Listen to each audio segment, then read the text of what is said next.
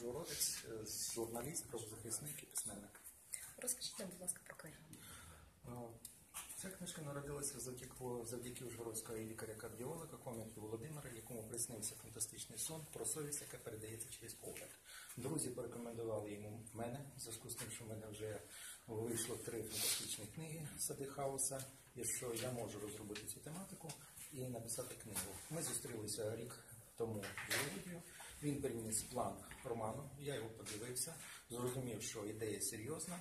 План був перероблений повністю.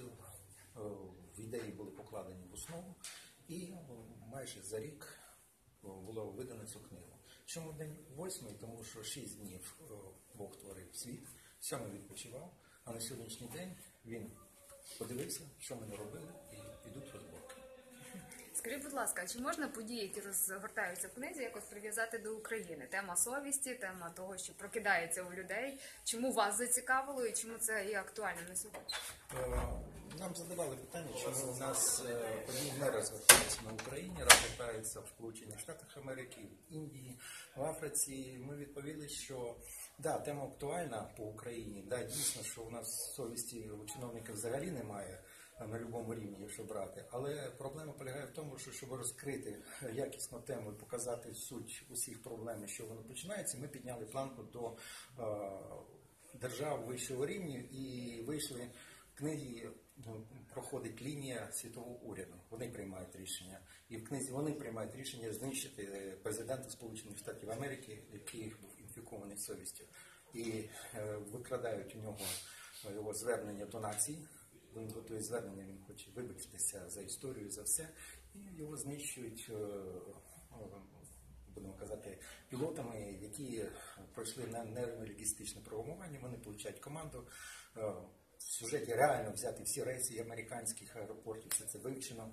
І е, аеропорт Рональда Рейгана він знаходиться в 4 кілометрах від Білого Тому по лінії прямій, якраз посадочна полоса, і літак сідаючи, получає команду пілоти, і вони замість того, щоб сідати, вони піднімають літак уже на е, смузі і вирізаються в Білий дом. І фактично знищують президента Сполучених Штатів Америки. А далі вже сюжет, де вводиться- карантин на планеті. Бо світовий уряд переляканий, тому що совість розповсюджується. Люди стають чесними. Це загроза. Загроза світу головна чесність. Совість. Роман має щасливе закінчення чи ні? Роман буде мати щасливе закінчення. Буде. Тобто ще буде продовження. Так, буде друга Скажіть, будь книга. ласка, тема сьогоднішнього круглого столу пов'язана з інтелігенцією і елітою. Яким чином перекликаються ці теми в книзі? Дуже дуже просто. Президент Сполучених Штатів Америки о, доповіді він починає виступати перед аудиторією, зібрав журналістів, зібрав конгресменів, і він починає свій виступ з того, що та ситуація, яка на сьогоднішній день виникла, виникла в світі, вона виникла завдяки тому, по причині тому, що в світі немає еліт.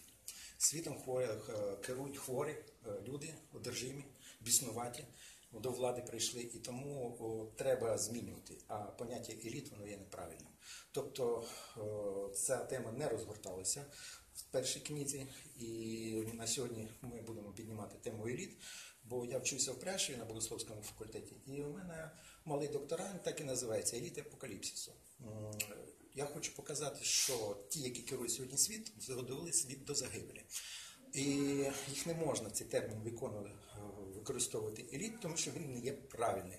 А що таке в дійсності еліта?